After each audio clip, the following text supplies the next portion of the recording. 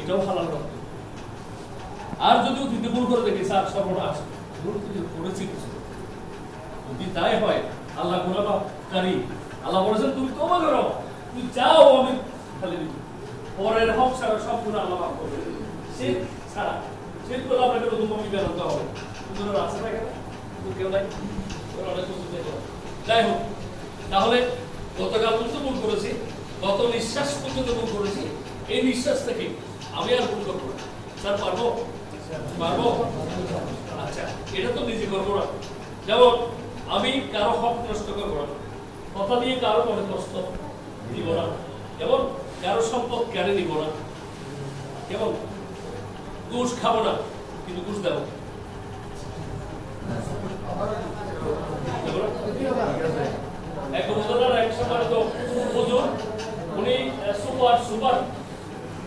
উনি আরেক উপজেলায় গিয়ে একটা প্রতিষ্ঠানে যোগ দিয়েছেন।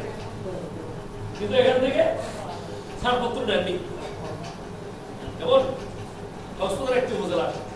না বলে ওখানে উনি পরীক্ষা দিয়ে পাস করেছেন ওটা যোগ টাকা করেছেন। তারপরে ছাড়পত্র একটা দরকার। উনি সিগনেচার যা ছাড়পত্র একটা বানিয়ে ওখানে জমা দিয়েছেন। ইতিমধ্যে এই প্রতিষ্ঠান জেনেছেন ওনারা ওখানে ছুটি লিখেছেন লেখার পর ওনারা বলছেন যারা একটু সর্বনাশ আপনি জালিয়াতি করেছেন না, এটা হবে না। আপনি অরিজিনাল ছাড়পত্র নিয়ে আসেন। উনি আবার এসছেন আসার পর ওনারা ছাড়পত্র দেন হাতে ভাই ধরনের বলে যদি ওনার কথা, ওনার নিজের কথা, যে পাঁচ লক্ষ টাকা দিতে হবে। এখন বলে, স্যার, আমি রাজি হলাম তিন লক্ষ টাকা। তো তিন লক্ষ টাকা ওরা ছাড়পত্র দেবে, কিন্তু ওরা বলছে যে আমরা ব্যাংক ডেট দিব না। খেয়াল করেন। ওরা আমার ব্যাংক ডেট ছাড়া, ওই সময় ডেট ছাড়া নিবে না। বলে, স্যার, আমি এখন কি করব? আমি ওনাকে প্রশ্ন করলাম আপনি এখন আলেন আমরা দুনিয়াতে আল্লাহ আল্লাহ রসুল শিখেছি চিনেছি বুঝেছি, আপনাদের কেমন আপনি প্রথম কথা বলেন। আপনি প্রথমে জালিয়াতি করেছেন, একজন সিগনেচার জালিয়াতি করেছেন।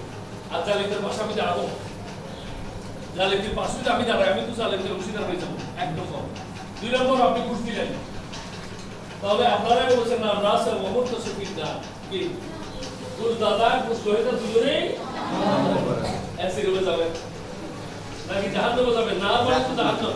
তাহলে আপনি যদি আপনার মতো একজন আলেম জেনে শুনে বুঝে যদি জাহান্নামের টিকিট কাটেন, আর আমি আপনার সাথে স্যার আমাদেরকে নিয়ে যাই আমি যাব। আর আমার ডিপার্টমেন্ট যাবে? স্যার, আমি তাহলে কি করব? আমি তো এখন আমাকে এরাও গ্রহণ করছে না, এরাও গ্রহণ করছে আমি বললাম যে, কোনো এক পক্ষকে হাতে পায়ে ধরে সিগনেচার দিয়ে বাউন্ড দিয়ে ওয়াদা করে, অঙ্গীকার করে আপনি রাজি করান, বউ বাচ্চা। আছে তো আমি আপনার পক্ষে দাঁড়াবো